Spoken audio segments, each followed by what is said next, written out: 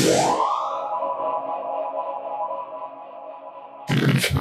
you invite people to the meeting? Alright, guys, let's go ahead and get started.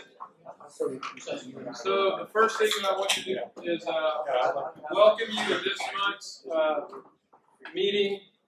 And the first thing that I want you to do is stand up. Come on, stand up, come on. Everybody? Everybody.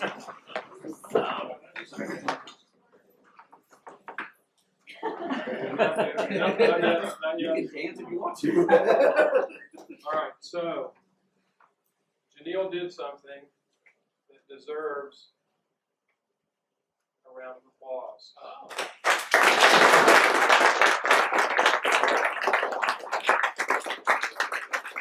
Tell her what you did. So this is a brief story. Like about a year ago, it's the same me, probably a different accent. So about a year ago, I come to my first UX meetup, and I run into this dude, Brian Sullivan. Everybody's shaking hands with him, like you know, this is the guy I gotta talk to. So I have a question, like, hey Brian, this is a great thing. I want to contribute to you guys. How can I do it? I'm fairly new, and all these guys here, like VPs and directors and senior people, how do I do it? And this is what he said no matter who you are, what stage you're in life, you can always contribute. You just gotta find out what it is. Because we all have unique talents. And that's when I realized, because I was shooting uh, my buddy, he, he bought like new Corvettes. I was shooting him, like, you know, his video, he was trying to do some drift and stuff.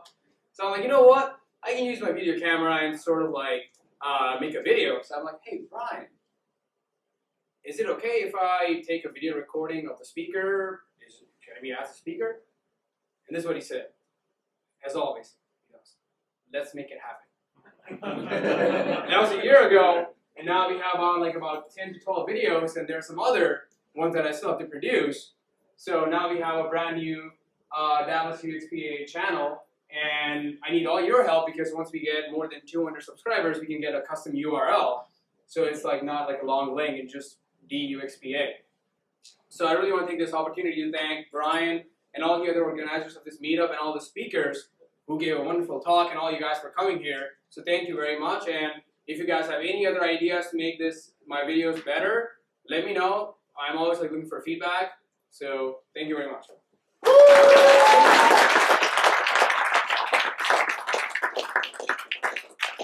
the lesson there is, Janelle, let's do it soon. Right? Great job, though. Uh, so this is the part where, uh, if you have any announcements, uh, just raise your hand. I think there's a lot of announcements. You know, Cameron, you have one. Did you want to stand up and go ahead and do it anyway? Um, I am the assistant of Refresh Dallas. Uh, we meet here on the first Thursday of every month, which would be April 9th at seven P M. Uh, we are not, uh, pocket pincers, I mean, we're not pocket pickers, so we're free, just like UX is. Uh, this upcoming month, we're going to have Steven Anderson in to talk to us about, uh, the ways in which we can, uh, get the details back into our designs and back into our marketing while still being able to keep up with our competitors and keep the investment when it comes to dollar signs down. So if you guys wanna come to that, uh, just check out Refresh Dallas on Facebook or on Meetup, make a reservation and come on down. Yuki, you want to describe UX Book Club? Uh, okay. You Um, can stand up, yes. yell. I'm organizing the uh, Dallas UX Book Club, and the next meeting will be April the third Saturday this time. And then uh, we are doing a service design. So if you have a chance to get the book and read the book and come to the meeting at four o'clock. Four o'clock on Saturday, just check the website. Opportunity to uh, read the book and talk to some people that have read it. Lori, you want to talk about Social Media Club? Sure, so, uh, Social Media Dallas, uh, meets on the third Thursdays at the Angelika and Mockingbird. And, uh, our objective is, uh, social media education, and we're doing that working. And the next meeting is on the sixteenth, and it features Eve Mayer, who is known as the LinkedIn Queen. So if one of your objectives is to use some of infographic stuff to step up your resume, you can, uh, tie that into LinkedIn very nicely. What's the group called. Social Media Club of Dallas. Randy, we'll talk about your group. Uh, I'll have it at the end as well, but I run a group here in Dallas called the Data Visualization and Infographics Meetup Group. Uh, we've only had four or five meetings now. We've got about 300 members. We meet once a month. We just met last night.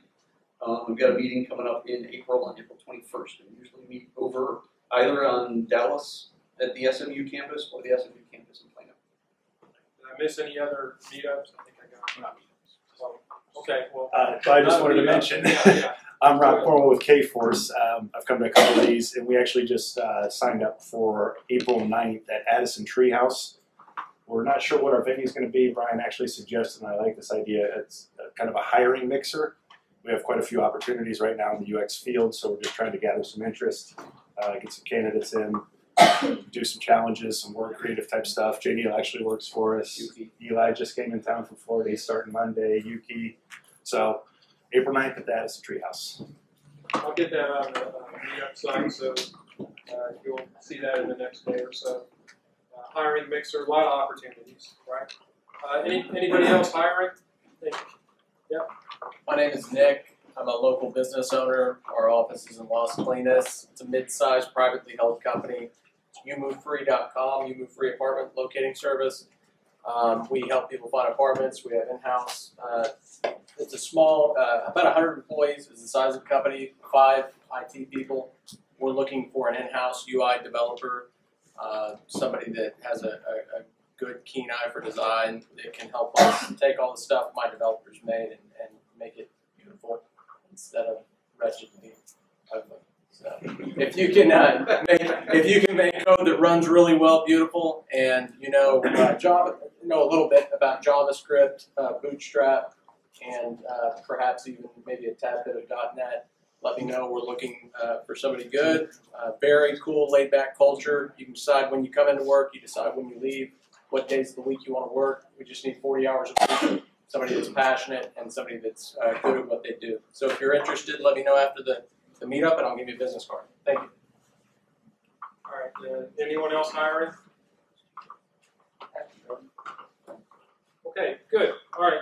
So without further ado, I'm gonna introduce you to Randy Krum. He is uh, teacher, author, business owner.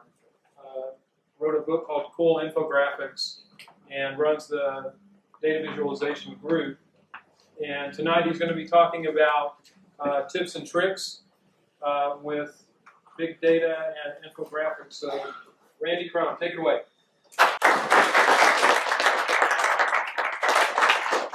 This is always a fun topic. Um, just so you know who I am, I started the Cool Infographics website in 2007. Uh, so it's actually been running for quite a long time at this point. Uh, my book is called Cool Infographics. It just came out last year. Looks like this. For anybody who asks good questions, I actually have a couple that the post office damaged. So we'll give those out to good questions. um, and so InfoNewt is my design company. I keep my company separate from the Cool Infographics site. Um, and we do uh, social media, of course, infographics. Um, but really, these days, most of our work is internal um, with confidential data within companies to do sales presentations, corporate training, business processes, board meeting presentations, that kind of thing. So that's the kind of work that I do. Um, I'm going to go really quick. This is a very visual topic. You're going to have a lot of links and a lot of things that you may want to look for. They're all on this one page, so that you don't have to write them down. Um, so on Cool Infographics, if you just go to slash Dallas UX, um, it's already up. You'll find the page that has all the links uh, to the examples I'm about to show you. Take your picture. Um, so we're going to do a couple basics to begin with. Um, we all struggle every single day trying to find information on the internet. Um, and every day we post more and more information out there, which makes it harder and harder to find the stuff that you're looking for. Um, there's a survey, not a survey, but a study that's been going on for a long time, for decades, um, by Dr. Martin Hilbert. And what he talks about is information overload, and he measures this as the information equivalent of a newspaper. And so every day, each of us on average in America are exposed to the information equivalent of 280 newspapers per day. That's how much information you have to absorb, filter, you know, decide what's important and act on, or file away, or just throw away because it's not important. Um, when I wrote the book, it was only the 174 newspapers per day number. It keeps getting bigger. So that's the information overload that we all face. When we talk about data, um, you guys know how big a petabyte is, right? So you might not be able to see it, but here in the bottom left corner is a single yellow pixel. That single yellow pixel is the size of a gigabyte. Um, and so movies on DVDs are a couple gigabytes uh, large. This small red square is 1,024 times larger than that single pixel, so that's a terabyte. Um, and then a petabyte is again 1,024 times larger than that. So when we talk about petabytes, Google, it's been a couple years now, revealed that they were processing 20 petabytes a day of information. And a couple different people did some research and added up the entire written works of mankind in every language since the beginning of recorded history adds up to about 50 petabytes. Um, everything we've ever written down in any language. However, we learned last year that Facebook's data warehouse is 300 petabytes. Um, and that's because of all the cat videos. That's because of all the images. You know, things take up more and more space online. Um, and Cisco does this survey called the Visual Network Index. Um, and they have measured how much traffic is moving across the internet. Um, and right now, in 2015, we're at about 75,000 petabytes uh, per month of data moving around. We're going to cross over the 100,000 mark either late 2016 or early 2017. How much of that's cat? Uh, quite a bit. a lot of Game of Thrones, a lot of uh, video downloads. Now we have advantages, and as designers, we take um, advantage of that opportunity. Um, that we are visual creatures. Um, there's a whole bunch of studies. Nobody knows exactly what the number is. This one study says that 8% of the brain is dedicated to processing visual images. Your visual memory, your sight, your spatial sense, everything to do with your vision. Um, and of course, we evolved that way. Um, you can look at this image and in a fraction of a second, know what you're looking at, know you're in danger and be running the other way or climbing a tree or whatever it takes. You don't have to pull out your guidebook and figure out what you're doing and look at the index. Um, humans are the best pattern recognition machines on the planet. Um, computers still are not as good as we are. This is a, a project called planet4.org um, that takes high resolution photos of the surface of Mars. And what they're looking for, um, let's see my um, are these black plumes which represent gas that has escaped from the, Earth's, the surface of Mars. Um, and computers just can't do it. So they set up this website and ask people to log in, look at images, and start identifying where these plumes are for them because we can do it so much better. Now, the other advantage that we really take advantage of, specifically in marketing, um, is called the picture superiority effect. Um, and what this tells us is that I tell you something or you read something. So um, if you have no visual whatsoever, and you're just listening to me, three days from now, you're only going to remember about 10% of what I told you. Um, because that's that part of your brain. If I show you, and this could be an image, it could be a data visualization or a chart, um, you trigger that visual part of your brain, and now you're more likely to remember up to 65% of that information. So when we're trying to sell things, we're trying to communicate information, when we're trying to persuade people, visuals and this picture superiority effect are what make a big difference. Um, people have very different conceptions of what infographics are. Um, so I often have to make a distinction. So this is how I define the difference between a data visualization and an infographic, because we're surrounded by visuals, but they're not all infographics. I call this a data visualization. Is a chart. Uh, we got about 80,000 data points in this one chart. It's a pretty big chart um, for stock prices, uh, but it's just that. It's just a data visualization. I make the distinction and define infographics to be a combination of text, illustrations, could be in this case many data visualizations or charts, um, and a very concise layout trying to tell the audience a story. Um, you're trying to provide insight, you're trying to provide something new to the audience and not just show them a whole bunch of. Now, infographics have become very popular online. Um, as you can see, like I started the blog back here in 2007 when almost nobody knew what an infographic was. And in the last three years, it has really exploded. This is Google Trends. So these are people adding the word infographic to their searches. Um, I've talked to high schools where students now actually look to find infographics about their research topics before they go to Wikipedia because it's easier for them and they, they're more enjoyable to learn information that way. So today, we're going to go through a handful of things. We're going to start with design tips. Um, and these design tips, it doesn't matter if you're going to do the design, if you have a design department, or if you're going to work with a designer. The idea is these are what are going to help you communicate better and do it visually. And the first tip, and if this is the only tip you remember, um, it's probably the most important, is that you have to be accurate. You want your data visualizations to match your data. These don't. Oh, this is not 20% in a donut. This is not 80% in a donut. The charts, the data visuals don't actually match the data. And all those good things about visuals, um, they're easier to understand, you're more likely to remember them, all work against you if you mess up. Because now they're going to remember that you couldn't get your visual right, you didn't understand the data very well, and you shot your credibility in the foot. And it's really hard to recover from that because that impact, that visual impact, was so much stronger than just text. For some reason, pie charts are really hard. This is an example that probably many of you have seen before, but pie charts have to add up to 100%. It, it's the number one rule. and in most cases, you know, they certainly they're not getting anything out of this. This was a mistake. They took the wrong kind of data set and threw it into a pie chart. Um, and it just doesn't make any sense, right? And it just hurts their credibility. But it happens to everybody. Um, so this is Nielsen. Um, they publish smartphone market share along with all the other data they publish, and they created this called the tree map, um, where each rectangle is supposed to be sized to the data. Um, and the easiest place to see the difference is in the middle, where Apple at 34% and BlackBerry at 9% should not be rectangles that are very close to each other. Um, they really shouldn't. And this tree map really has no relevance to this data whatsoever. And a month later, they had to post this corrected version, which is dramatically different. Um, and they've now corrected it to match the data correctly. So I call these false visualizations, where the graphic might make an impact, but doesn't match the data, and doesn't actually support the message.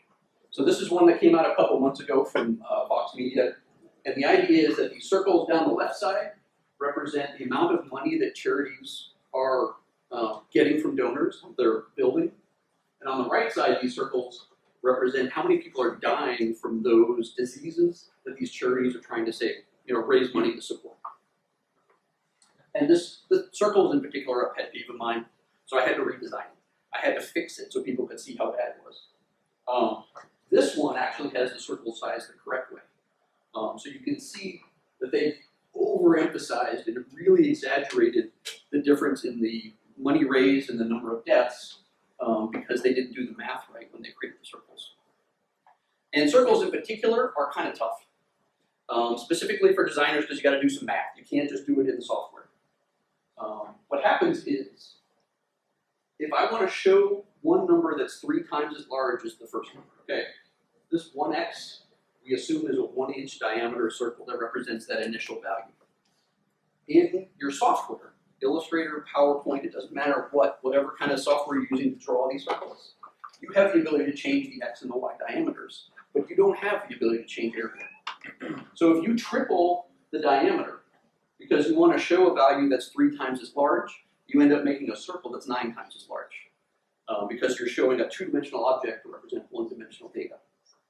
Uh, what you really have to do is figure out the area of this first circle, triple that, and then back into what is the correct diameter for that circle. And so when you see this in practice, um, this is uh, the budget for the police department over in Bedford, Texas. And the center is their total budget, and it's broken out into all these circles uh, around the outside. And you start with this spreadsheet, and you actually have to do the math in Excel or somewhere so that you calculate what are all the areas supposed to be, and then you can back into the diameters, and that's what you use in the software. And that's how you get signs like this, which is 20 century death. So this, all these circles are sized to match um, the major causes of death in the last 100 years. But it takes a lot of math to put that together. Number two tip is to be focused. And what I mean by that is to tell one story really well. Um, this is the caffeine poster. This is one of my first designs that I ever posted online. Um, but the idea is if you're going to go to Starbucks, if you're going to go to the vending machine and grab a drink, this is how much caffeine you're about to put in your body. Um, it's not telling you sales numbers. It's not telling you which companies and which brands. It's just really focused on you're going to buy this drink, you're about to ingest this much caffeine. And what we see often with companies is that they just have all this data and they want to throw it all in at once. And so you end up with these infographics that have a whole bunch of data, a whole bunch of visuals, um, but no story, no context, no information flow. So normally, not all the time, but normally, uh, infographics will follow this three-part story format. There'll be some sort of introductory data. Um, this is what the audience needs to understand um, so that this big reveal, this new information that the whole point of the infographic is about, is going to make sense to them. So that's what you want us to be as your big focal point is this is your main point of the infographic. And then, and a lot of people forget this, you have to end with something. Um, some sort of conclusion or call to action. What is it you want your audience to do now that you've revealed this new information to them? Eat better, vote a certain way, buy a certain product, call their mother or whatever. Um, there needs to be some sort of wrap up. So here's an example. Uh, this one is called the Tower of Beer. Um, and the idea is that Tom here starts investing a dollar a day at the age of 25, and by 70, he can afford this massive tower of beer that is visualized compared to way down here, the Statue of Liberty, um, and in the middle, um, I can't pronounce it, but that's the tallest tower in the world in Dubai. Uh, thank you. Um, but no, no, he can stand miles above that um, on his massive tower, uh, tower of beer. And then the call to action doesn't have to be uh, overly persuasive or a heavy sales pitch. In this case, it's just learn more at rothira.com because they're the ones that put this infographic out there. But it's what is it you want them to do now that you've uh, revealed them and enlightened them with this new information. Um, after running the website for you know I don't know how many years now, eight years, um, most of the people that look at an infographic, I would say 98, 99% of the time, are only going to look at your infographic for five seconds. That's all you have to communicate your message. And so I usually talk about two layers of data. So the vast majority of your audience is going to be five seconds. And then you do have a portion that are going to want to read the whole thing uh, or spend time on it and dig into the details. So we talk about what is the key message that you want to communicate in an infographic. Because we need to know that up front before we start trying any part of design so that we can make sure that that's the message that gets communicated in five seconds. Um, in this case, um, this is a, an infographic about where does Google make its money, right? And Google makes 97% of its revenue from advertising. We have this big colorful pie chart of the top 20 uh, keywords in Google AdWords and the, the most expensive uh, keywords in AdWords. But you don't need to know um, that number 18 was rehab um, to get the message. The message is Google makes all their money from advertising. As long as you understand that and walk away and don't read the rest of it, it's still mission accomplished. We got our key message across. You do see designs like this. So I call these data dense. They're really meant for discovery, and they break that five second rule. This one in particular, this is the 2011 Wisconsin crash calendar that maps out every automobile accident, all 124,000 of them that happened in 2011. And the way it works is uh, each column follows this calendar. So it starts in January, and goes down to December, and each column here in a different color is a different cause of those automobile accidents. And you as the audience, you're going to look for different things. You may see different things than I see, um, but also you're going to start to see patterns. So this grouping here, this orange grouping in the middle in October and November, that's deer season. Um, so those are all the automobile accidents related to hitting deer on the road. Um, immediately next to it, this column right here, is alcohol-related accidents. And everything happens on Saturday and Sunday. Would you still consider this um, an infographic rather than a, a data visual? I would because it's a number of visuals all on the same page, along with some story and some text and that type of thing. So it's not just a visual by itself. Um, but you, you know, as you as a viewer look at this, you're going to explore. There's not one five second message in this one. It's called data text. Um, number three is be visual. If you have data, use the advantages of doing visual design. So this one are actually the series of infographics from Hotels.com. Um, they actually put on their press website. You won't find this on their main website, um, but they have data from across all the hotel chains they deal with. So they have some really neat aggregate data um, that they can share, and they do that through infographics on their press site.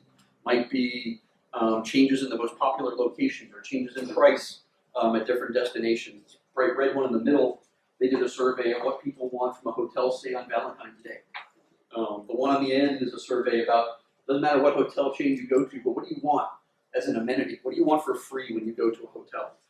Um, and so they update this every year. And so the research says everybody wants free Wi-Fi. That's what everybody wants from a hotel, unless you're over 65, because then you want free breakfast. You don't want free Wi-Fi. You're just worried about you know eating your next meal. Uh, but a lot of designers do this, um, and, and I call this pretty lazy, um, where you just make all your data in text, and you leave it up to the audience to read the data, comprehend it, try to figure it out. Um, there's no visual context here, um, so if I uh, 40 million users is at the same emphasis, the same size as Facebook at 1.4 billion. Visually, you don't get any sense of the scale and scope of these numbers. Um, it doesn't give your audience any context. And if you, as the designer of the infographic, don't give your audience that context, they're going to bring their own. Um, and you have no control over what number they're going to compare these to in their head. Um, here's another one. This is a series called Data Never Sleeps. And it's all the things that happen on the internet in a minute. Right? But it's all in text, and it's all jumbled together. So it's a big pile of data like we just talked about. Um, and even you'll notice a lot of the text is different sizes. Oops, went too far. Um, is different sizes um, because that's how it fits in these uh, arcs around the circle. And it's not like a word cloud where the size of the text has any meaning. So it's actually even more confusing than you would expect. Oh, so it's important to know that when you're doing data visualization design, far and away, most of the time, you need to have more than one number. You want to have your number and then something to compare it to. You need some sort of context. You need multiple values. So if I tell you that there are 2.8 billion internet users on the internet, right, and I put it in a really big font, and I put it on these giant projector screens, you still don't have any context. You still don't know is that a big number or a small number? Is that growing? Is it shrinking? You have no idea. It's just a number.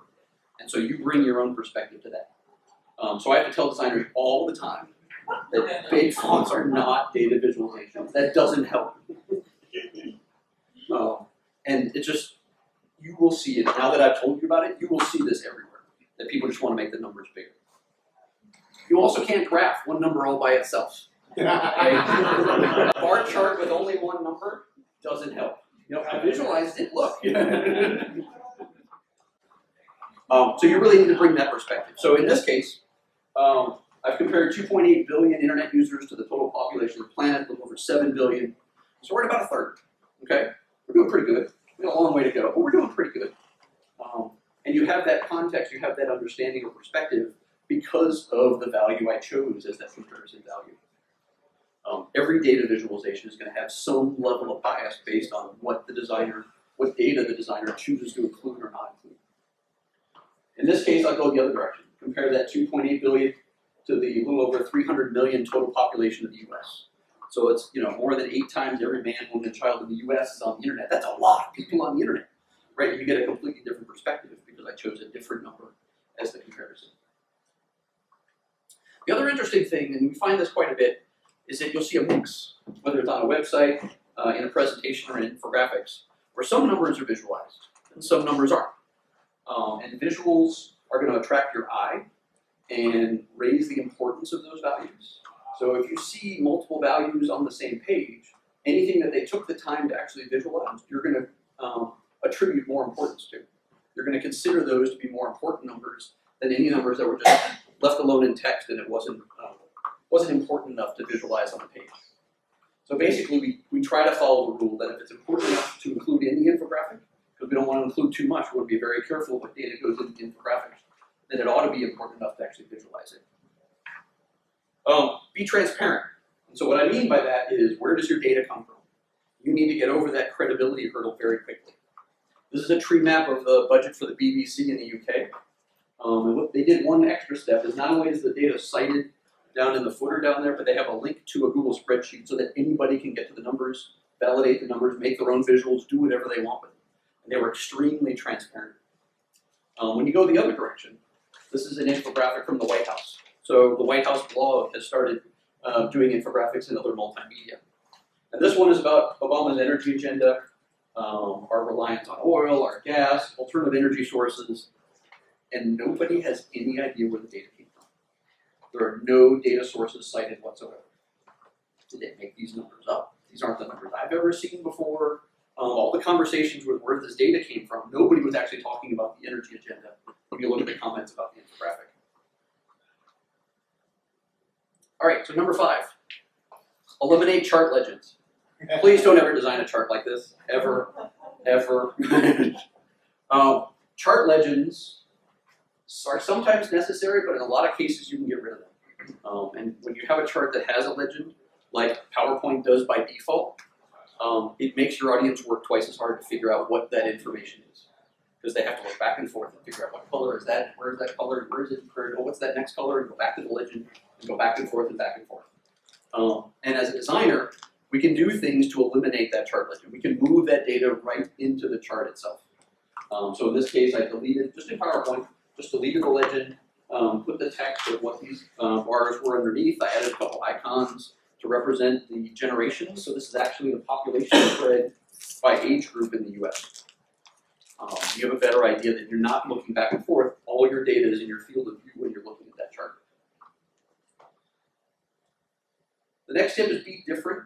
Don't always use the big three bar charts, line charts, and pie charts. Um, because all your data will start to look the same and your audience will begin to have a hard time remembering what was today's data versus yesterday's data because it all was charted the same way. Um, the Visual Miscellaneum is a great book um, that does basically great, colorful examples of all these styles of visualization. Um, but the idea is you can go out there and you can find easily 10, 20 different ways to visualize the same set of data. Um, and sometimes what you're looking for is a better visualization, something that's going to make it easier to understand. Um, there is another thing, there's a poster, and it's also um, sold. I have one here called the Graphic Continuum, and it's basically this cheat sheet of different data visualization styles.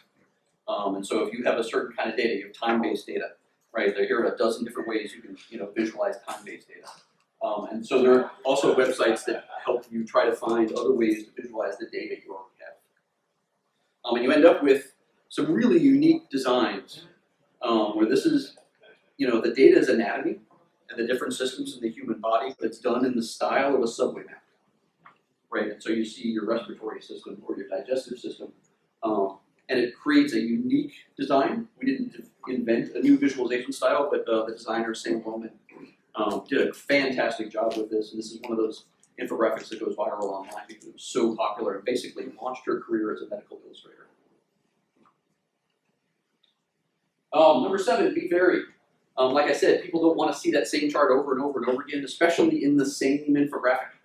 Um, so what I mean by be varied is as you move from one data set to the next data set, try to break it up a little bit. Try to break up the color, try to break up the visual style. You know, so we go from a rose diagram to donuts to grids to stacked bar charts. It helps your audience understand, okay, we've now moved into something new, we've now moved to the next data set. Uh, what you don't want to do is to flood your audience. In this case, this was a news article that had 90 pie charts on these world maps. Um, and it's really, really hard um, for the audience to tell the difference and to try and make any comparisons between these pie charts. Um, there is one example or uh, exception to this rule. Um, it's something called small multiples. So this is an infographic from the NBA, or actually about the NBA, um, where each of these represents the top five or the five starters for each basketball team. And the lines will show you how often the different players have passed the ball to each other. Um, and so the idea is once you understand the first one, then as a, as a multiple, you can understand every team, right? And it's okay because you're going to dive deep and you're going to explore the teams you care about. Um, so it's really neat. So we call those small multiples. That's the one time when you want to repeat the design because you wouldn't want to visualize every team differently. It wouldn't make any sense. Um, the last tip is clear footnotes. This, this shouldn't be something we have to talk about, but it is. Um, some sort of copyright or Creative Commons, what is it you're allowing people to do with your graphic online? How much control do you want to have over it? Do you want to let them change it? Do you want to let them put their own name on it? Or do you want them to uh, make sure they include a link back to your site? All that is included in that copyright or Creative Commons. Um, the bigger one is provide the URL to the infographic itself on your webpage. Um, infographics have a life of their own.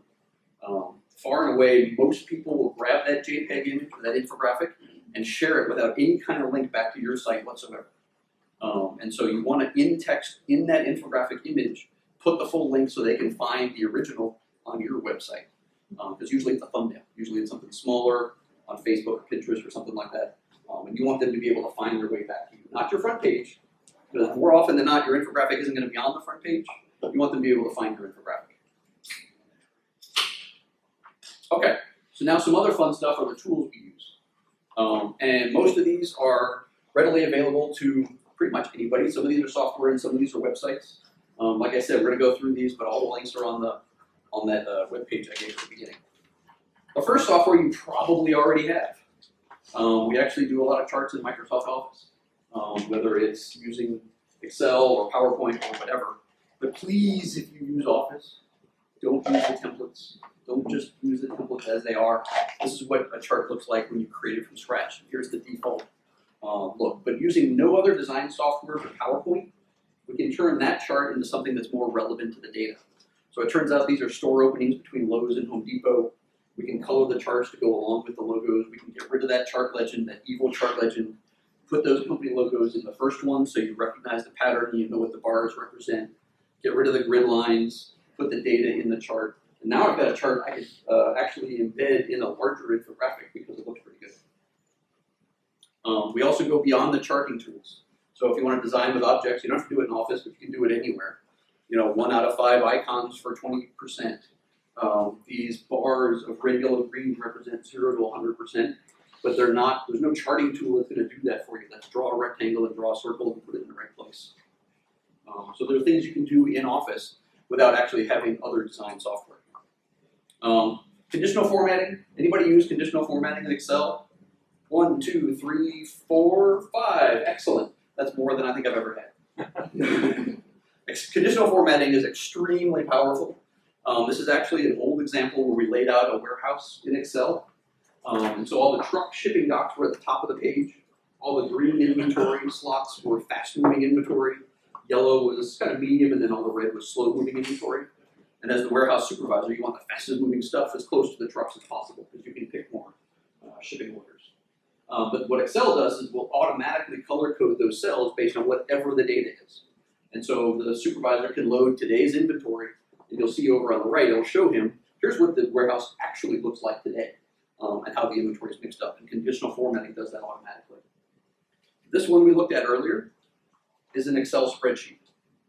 Um, this is done entirely with Excel conditional formatting um, and spacing out all the cells. So it's automatic, which means that 2011 is over, they now have 2012 data. Clean it up a little bit, import it, and boom, you've got your 2012 crash calendar. Yes? I was just noticing, what is in March, there's that one day going across that seems to have traffic accidents every time. That's a good question. I don't know what that is. Like March 9th? I think, March 8th or March 9th. Yeah, but it's that one day. When does Mardi Gras start? Could be. Um, so most infographic designs that you see, whether it's online or in the company you work with or whatever, ultimately, usually we put the entire infographic together in some type of infographic software. Um, Illustrator is the big uh, software package on the block, um, but there's also OmniGraffle, Visio, PowerPoint at its root is a vector graphics program. You can draw a circle and stretch it, and it doesn't pixelate. It's actually a vector object. Um, Inkscape is probably the most popular open source free vector graphic software program on the internet. Um, so there's plenty of vector graphic software out there. For infographics, though, of course, we've now started to see the advent of online websites that do the same thing. Um, and essentially, they're trying to replace the need for something like Illustrator. Uh, Visme, Canva, Easel.ly Infogram, Piktochart. Um, they all have different features. Some do charts better, some do images better, some do publishing and SEO better. Um, you can play around with them. Um, I will share, I do work with Visme, um, and I've got a, a discount code that's about to expire at the end of the month. Um, so Cool 30 gets 30% off, it, like you know, your annual subscription for life, not just the first year. Um, and Visme will do infographics, presentations like PowerPoint, web banners, animations, um, and they do a really good job because you can edit the data for the charts in the infographic. So if it changes, it's really not the graphic. So I just work with them and I know them really good. Um, image editing. People generally assume Photoshop is what we do this stuff in, but really we use image editing software to clean up the images. Logos, uh, icons, illustrations, whatever it is, we'll probably do that in the image editing software. and then take it over to the vector graphics program. Um, so for example, you see this quite a bit. You'll get a JPEG of a logo or something like that. JPEG doesn't handle any transparency whatsoever, so you end up with this big white square, right? And you need some software to clean that up and add that transparency uh, around the images so that you can fit it into your presentation or your infographic. Um, like I said, there's a big difference between vectors and images. So if you start with this small circle, if it's a vector and you stretch it, all you're doing is stretching the formula, so it redraws it nice and crisp and clean. Um, but if it's actually an image file, like a JPEG or a PNG file, when you stretch it to the size you need, um, it becomes all pixelated uh, because it was, it was a raster object that was fixed. Um, grids of 100 squares. So this is not a chart that it will ever, you may see it someday, but nobody does it today, which is in the charting tools, you have to manually create these. Um, so you draw these squares in a grid of 100 so that you can represent percentages. And this is 21 uh, consumer research survey questions uh, all plotted together. And this grid makes it really easy to compare values from left to right for one brand, and also really easy to compare top to bottom. If this was 21 pie charts, you'd have a whole lot of difficulty trying to make those comparisons. But in the software, we actually have to draw 100 squares um, and then select the amount to match up with the percentage and change the color, change the full color. But once you do that once, you've got that grid, you can copy it and use it as many times as you want. Anybody heard of the Noun Project? Anybody? One, two, three, four. Excellent. So the Noun Project is trying to build a visual language online. Um, and so designers from all over the world are submitting icons with keywords associated to them to the Noun Project. And you as a user can use those icons for free if you give the designers credit. Or you can pay a small fee for a monthly subscription and use them at will without giving credit. So if you want to use them in something official corporate and you don't want to say, you know, icon designed by, then you pay the, the monthly subscription and you can use those icons. Um, they're doing a fantastic job. Their library is growing every day. You just put in your search terms and it will show you, you know, 50 or 100 icons related to that item or that search term. Um, and so it's just, it's just a fantastic website. I highly recommend it. Uh, Wordle. If you guys like to make word clouds, uh, Wordle is probably the most popular website to make word clouds on the internet. This is the Facebook privacy policy, um, which is a really long document. But in Wordle, all you have to do is select all your text, paste it in, and say go. And it will count all the word frequencies, size the fonts and the words correctly. It actually picks out just the top 100 words in frequency and creates this cloud out of it. You can then change the font, you can then change the colors, um, and mess around with a little bit, and then include that in your presentation or your infographic or whatever. Free to use. Um, there are a number of sites, this is chartle.net, um, that will do charts that Excel and PowerPoint don't. So if you want these little gauges, or if you want to color code a US map or a world map based on whatever data you have, um, Chartle is one site, there are many sites that'll do that for you. Um, and the idea is you do it here, and then you download that as a PNG, and then you can include that in whatever uh, infographic presentation you're creating. Gliffy is a different site where it wants to create um, uh, diagrams, network maps, flow charts, uh, Venn diagrams, so it's not um, like numerical data, it's more process data. Um, so if you don't have a software package that will do a big flow chart or a big org chart or a big network map, um, you can do that online on Gliffy. Um, this is a fun one called ThingLink. Um, and one of the things we do sometimes in infographics is we want the infographic design to be as clean and simple as possible, and a lot of text will junk that up. We don't like having a lot of text in our infographics. Um, ThingLink will let us create all these pop-ups that will appear if you hover over certain spots of, a, of an image. So the pop-ups could be a YouTube video, the pop-ups could be a photograph or an image, or it could be text. Um, but it keeps your original infographic pretty clean, and only that part of your audience that wants to dig into the details, they're the ones that will hover over and see the additional details. Um, Batch Geo, going to map data. So if you want to map um, 250 franchise locations all at once on Google Maps, um, you're going to have to type those in one at a time, or with Batch Geo, you can upload your spreadsheet. Um, and it will map them all at once using the Google API. Um, up to 250 is free. Beyond that, they want you to pay for it. Uh, but not only does it create a map, it's actually an, an, interactive map where you can hover over any of those pins, get more data, embed this onto a website, uh, or take it down and use it as part of your infographic. Um, U.S. only or worldwide? Worldwide. Anything Google Maps will cover.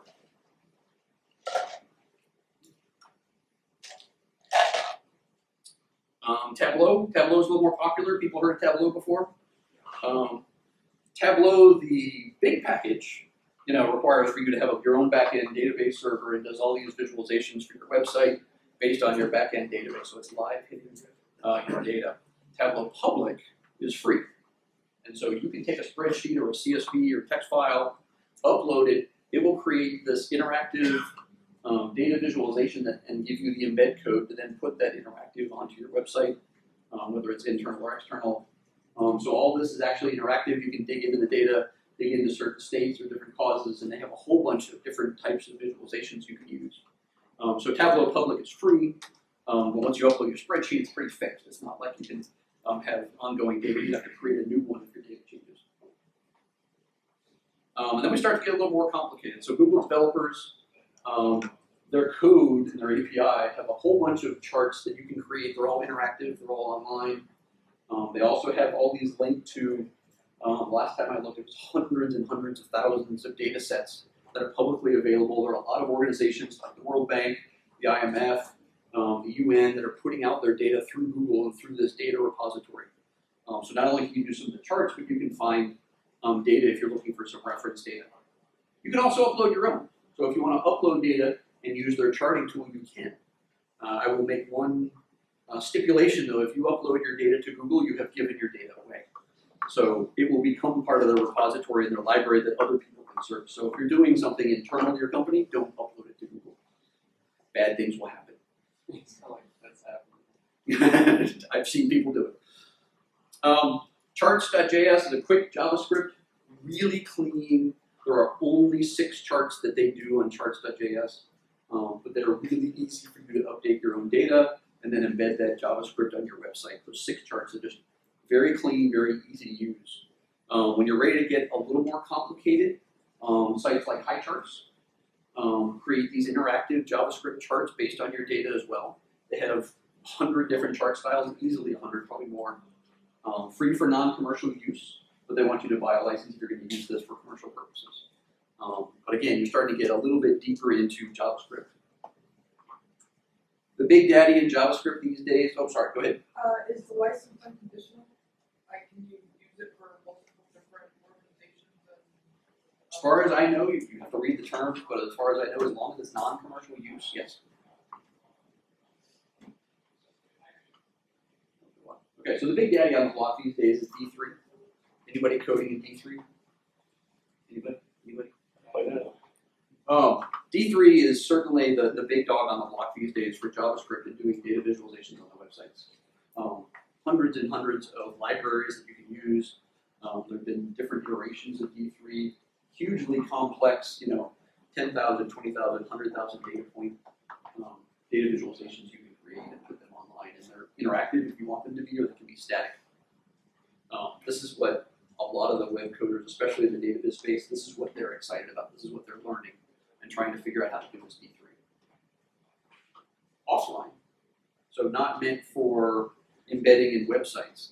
Uh, there are a couple programming languages that are just really focused on visualizing data. So R is really a statistical uh, programming language, but a lot of people started adding R data visualization libraries. Um, so these are examples of that. Processing is a programming language just for visualizing data. Um, and this is probably one of the most famous uh, maps that was done in processing where it's, I don't know if you can even see it. Can you see it, Bruno? Yeah, there you go. It's um, every flight in a 24 hour period over the US. And so it's showing you every plane within a 24 hour period. You can see it as the, you know, as morning moves from the East Coast over the West Coast and all the flights pick up. And you can see all the flights coming from international destinations. Um, so that's a bunch of tools. There are a whole bunch more. Um, I have a, a, repository of these on the website, just on slash cool graphics slash tools. Um, if you find any or know of any that I don't have, please send them to me. Um, there's stuff popping up all the time, and so I'm trying to add um, new tools and categorize them. So if it's mapping um, or data visualization or JavaScript tools, I'm trying to build those categories in my library. Um, like I said, Cool Infographics is the book I put out. Um, if you go online to the book page, you can download the first chapter for free and check it out. Um, so it's available on there. I have a few here. Um, like I said, I got a couple that were damaged that I'll give out in just a second. We have a LinkedIn group that's really for the purpose of discussing the craft of data visualization, infographics, and publishing infographics online. Uh, we moderate out anybody that comes onto the group and just says, hey, look at my infographic, and trying to get links and that kind of thing. We just kind of delete those. So I need to do a little catch up, as a matter of fact. But so we got about I don't know, 1,000, 1,200 people so far. Um, so you're welcome to lurk, add questions, add your own opinions, um, and talk about anything related to data viz. And you will find a good panel of experts that can help you out. Um, in two weeks, I start teaching a class over at SMU on infographics and data visualization design. This is through their CAPE program, Continuing Professional Ed. So it's a six-week course, one night a week. Um, and we're going to be hands-on with laptops and data sets, um, and actually visualizing data and letting um, the class start creating their own infographics, probably their own infographic resume, and work as a group to come and build stories with data. Oh, and there is, if any of you are interested in the class, um, a discount code. You can get fifty dollars off if you use the code VIP50. And SMU's got these really long URLs, so I just quick short. That's how you get to the class page. Um, like we said at the top, I run the data visualization here in Dallas meetup group. Um, we've had four meetings. We just had one last night. Um, our next one's going to be in April, on April 21st. I haven't put it on the site yet, um, but you're all welcome to join. I have a couple cards up here that have this URL um, if you want to share that, so you have to write it down. Um, but they're all also on the website. And that wraps it up, and I'll open it up to any questions whatsoever.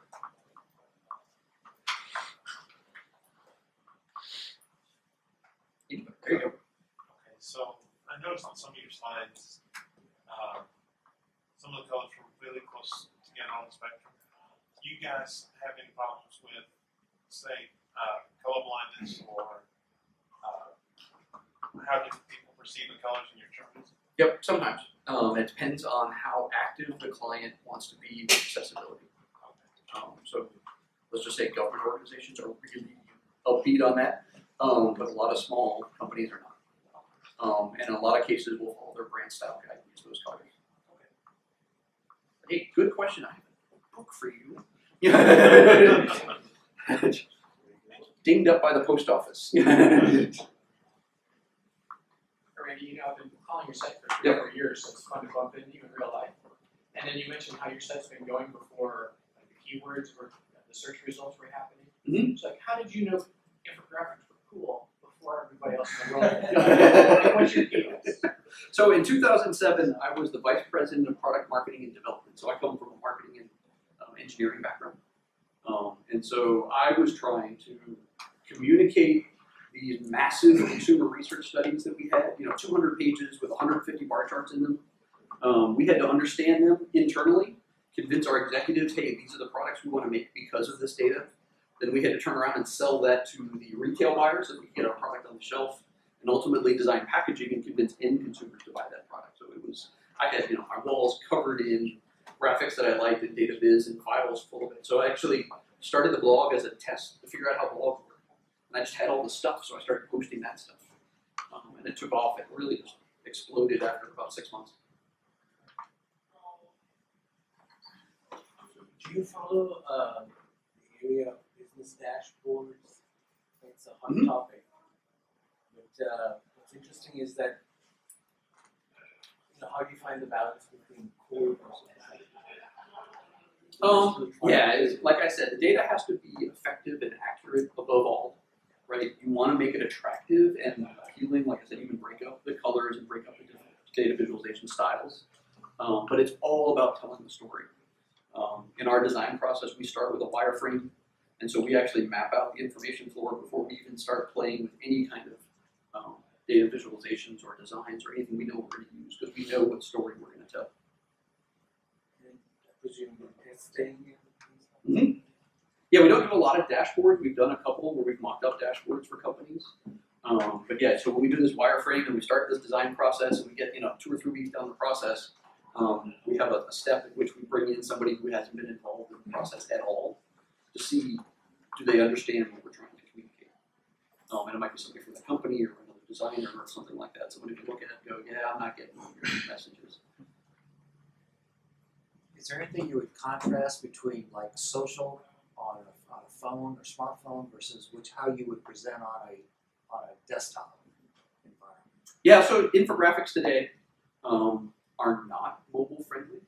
Um, you've seen a lot of them online. They're these tall designs or these big poster designs.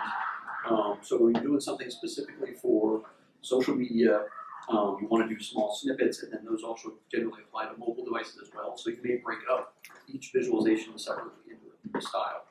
Um, not many people are playing around with mobile responsive for infographics, but it can be done. Um, you could break up an infographic and have it actually rearrange as you went to smaller and smaller screens. You, you differentiated between data visualization and infographics. Yep. Infographics having much more information of Mhm. types.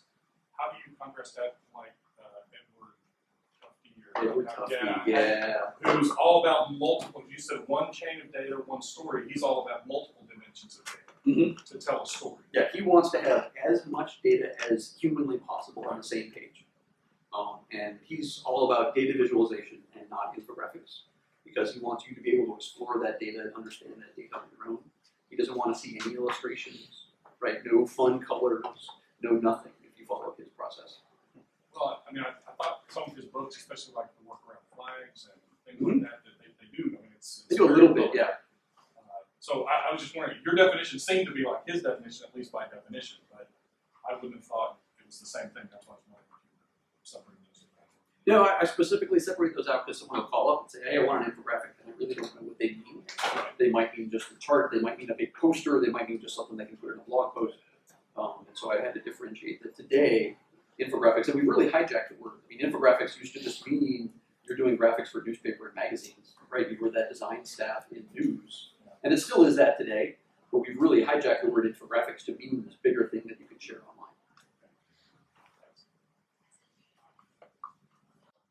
So let's say that I'm your client, right? So usually they'll have this bunch of data with them, like you know whatever they've gathered so far, and you have a lot more experience. So uh, when they're trying to tell a story, you can advise them, hey, this is a better way of, to tell the story. So I just wanted to like maybe like if you can walk through the quick like uh, session, like how would like you would do the initial discovery phase, like what would you tell like, hey, this is the data we need, or how this is a better way to Yeah, tell the story. So We start with data. Okay. Sometimes they have data, sometimes it's in process, sometimes they don't have any data, and we want to go find the data. Um, we have a creative brief that goes through, you know, is the data available? Um, is it credible? Is it good data? Is it data you can share publicly? Um, we run into that quite a bit where either the legal team has to review it because it's internal data and they have to get permission to share that internal data publicly in an infographic, or they've purchased that data and their terms of service by purchasing that report doesn't allow them to turn around and then publish that data publicly because those people are trying to sell that report. Um, so we start with the data. They might have an insight or a story they already know, or they might not. So we might help them try to figure out what are the trends, what are the outliers, what's interesting about this data that they can share. Um, and that's when we start doing wireframing and telling that story. So here's our insight. Here's what the audience is going to need to understand before they're going to understand what that insight was. And then what is it you want them to do with it? And it might be, you know, it might be a sales pitch, right? It might be buy our product or go to our website, or it might be, you know, something that's more informative, like, hey, um, you know, don't eat carbs, you know, or something like that. You know, it's just something that's more informative and not a sales pitch. Yeah. Okay. Yes. I have a different question. What tool did you use to make your presentation? Keynote. And Apple Keynote. Apple Keynote. More questions? Um, Yep. Um, do you have any tips when it comes to, uh, getting your infographics front page on SEO? yes. We have an entire infographics release strategy that I didn't cover here. So designing the infographic is just the first step, right? And then you got to craft a landing page, and then you got to do self promotion, and then you got to do outreach. Um, and we have a, a process to go through with that. But yeah, you can't just put it out there on Facebook and hope everybody finds it. So dovetailing on the other question over there, um, what role does the end user play in infographics from the discovery phase to completion? And how do you advocate for your end user with your stakeholders? You mean the client? Yeah. how involved are well, It's all over the map. I mean, sometimes they're like, we've already written the press release. We already know what we're going to highlight from this um, research, and so we want to create an infographic that we can use in social media to draw more attention to this research. So they've already got conclusion one, two, three, four laid out. The story is really crystal clear. Um, I have gotten a couple calls that says, "Hey, we want an infographic." go. you know, and that's it. You know, and we start from ground zero and start with, okay, what is your business, and you know, what do we have, you know, In that process, do you then like try to help your client define an end user for whom what they're trying to say? Yeah, so we start talking about who's your audience, um, what's going to be something of interest to them. We, we do prior art searches, so we make sure that we're not creating something that's been created before. Um, we also go through uh, and make sure that you know if they have certain keywords that their website either is really good at, and they want to make sure that the infographic goes with those keywords, we can do that. Or they may have keywords from an SEO standpoint that they want to rank higher on, but they aren't currently. So then we're creating content to help them rank higher on those keywords. How much information do you put in your infographics about where the research is coming from? Because I, I, I work on the other side of where I have clients that ask me to search where the information is. Because a lot of times it's almost just, maybe not even the URL, it's just, oh, this was in the. Yeah, so, I mean, You saw the White House one that had nothing, Yeah. right? And there, there are a couple steps. So the next step would be, of course, Wikipedia, right? And so you don't want to cite data from Wikipedia. You want to at least look at the references and figure out where that data came from. Um, some people will put just the top level URL. Um, so we'll say uh, data.gov. That's where we got our data. Go find it if you want to go look at it. Um, but we really recommend um, a full citation, right? So here's the full length to the report we pulled data from uh, or if it's internal, an explanation of an internal survey of 1,200 end users and you know where that data came from, and really trying to give as much, and I said earlier, transparency to that data as possible, because you want to get over the credibility hurdle so that your message is actually what you're talking about, not your data and where it comes from. You said, if I remember right, you said you weren't a fan of circles, yet circles are sort of like cool shape So I of am the a day. Oh, that's nice, sorry. Some people are. I love circles, but a lot of people get them wrong. I, I mean, I've done them so often now. I can look at them like that's the one example of the, the charities. I can just look at it and those aren't right. I can tell just that those diameters weren't even close. So it seems like there is a whole uh, another dimension to, let's say, you know, we, we do persona development. In, in, let's say, information consumption dimension to that because a manager has the luxury of time to sit and digest data. Whereas if I'm a, you know, operator on the refinery floor, uh, I don't have time to Yes. digest. It's, it's rapidly moving. Mhm. If I'm a UPS truck driver, Right. So it seems like there's a whole new science on that dimension. Yeah, there's a, there's a whole aspect, and I put this on the data viz side more so than infographics, that's all about discovery, right? And so you want to be able to find those trends, find those insights, find what's interesting in that data. Um, and usually, you know, you may use visualizations to find those outlier data points and that sort of thing, but you're not going to use that same visual when it comes time to turn around and communicate to people who aren't familiar with the data. It might be executives, it might be the UPS truck driver, you know, somebody who's the general public is not going to want to see your spreadsheet right? You don't want to put your spreadsheet up on the projector and put everything to sleep. Um, so we do, we, there's visualization for discovery and there's visualization for communication. Um, and we generally do those as separate, and they're usually not the same visual. Plus, I, I know I'm like twenty to twenty-five percent colorblind, so. That's, um, So it makes a difference. Yeah.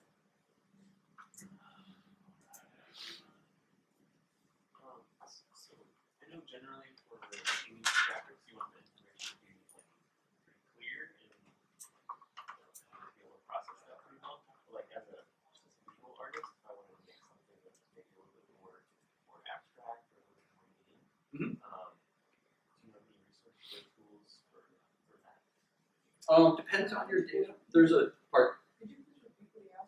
Um, he was asking, so as a visual artist, are there other tools that you can use? So you base um, your visual design on data, um, but really trying to make it more aesthetically pleasing or interesting, not specifically like hard data, trying to communicate. Is that clear, that close? Um, there is, that I, this is part of a different presentation, but there's a, there's a whole other part, what I call info art. Um, so for example, um, you might want to visualize the first 1,000 digits of pi, right? And there's a tool called Circos that'll do a great job doing that. That maps this digits in a circle and this beautiful line drawing has no useful value whatsoever, but it is based on data, right? It's based on information. Um, so there are tools like that. Um, some of those are they're not there's no separate category, but some of those tools are on the tool page. How about recommended sizes for uh, infographics? For online, so we generally recommend um, that your infographic is 800 pixels wide when you publish it online. That should be the full size original infographic. But then you're going to want to create a smaller version, probably 500 pixels wide, that fits in most blog content spaces. So like in a WordPress blog or something like that. Um, generally, we like vertical, right? It's easier to scroll up and down than it is side to side. Um, most browsers will let you scroll instead of shrinking it down, so a lot of wide infographics have really gone away because they get shrunk down so small you can't see them. Usually you don't see the, the horizontal scroll bars. Um, so if it's 800 pixels wide, it can be as long as it needs to be. Um, and then 500 pixels wide to fit in um, blog postings. So generally, those are the two sizes we start with. Is there a length that gets? Yes. Um, there's no hard number to that, but there is absolutely a length that becomes ridiculous. So I heard about the golden triangle like rule. So basically, when you in visual design, um, and especially in um, Western culture, uh, you want to like have a triangle like you know kind of shape it because you first have the main stuff and then you slowly narrow down. So in terms of uh, when you design your stuff, I just wanted the, to know the impact of linguistics. Like for example, if you're, if you're designing for multiple languages, uh, is it the same or is it sort of a little bit different? um, not so much on that. We try to minimize text as much as possible. Okay. Um, now at the extreme level, nobody wants to read an infographic that's really just a blog post or an article that's Mhm. pasted into a JPEG and called an infographic. Um, but people do a gut check when they look at an infographic, and if it looks like there's a lot of text and it's going to take a lot of effort, they'll generally just say, "Nah, Okay. I've only got five seconds. I'm going to move on." Um, so, in general terms, from a design sense, we want to minimize the text as much as possible um, and still communicate that message. By doing so, it opens it up to make it easier for um, translations. Okay. Right, so it's there's less text to change. Mhm. Um, for legal reviews, there's also less text that has to get past the, the, the legal review process with the internal lawyers or whatever the client has. Oh, okay. Um, we try to put stuff into icons and illustrations because again, that, that breaks a lot of language barriers. Um, and we have had a number of infographics that were then just the, the text we did have got translated into multiple languages and that type of thing. Oh, I was just curious, um, uh, the storytelling aspect is fascinating to me. I was wondering, uh, how much you guys are looking at using animation to help tell that story more, so that it's not so static, maybe it's a little bit more uh, visual. Yeah, so there are a whole different, um, there are a whole bunch of levels of what I call infographics, and it starts with static, and still far and away, like way more than ninety percent are still static. Um, you move up into animated and video and interactive infographics. Um, most clients don't want to go that much effort. Um, we're doing more and more of it because we like it and we want to do more of it. Um, but generally, most clients aren't going to fork out the budget to do animation and videos and infographics. Um, video specifically, um, YouTube has made so much easier, right? You don't need to know how to take embed code and paste it in anymore to be able to share a video. You just go, "Hey, share on Facebook. You know, so videos are becoming more and more interesting um, to do motion graphics or animation with data. Do you have any specific animation tools that you use for those projects you get to do? No, because I don't do them. I would uh, have one of my designers or subcontractors do that. Thank you very much. Cool.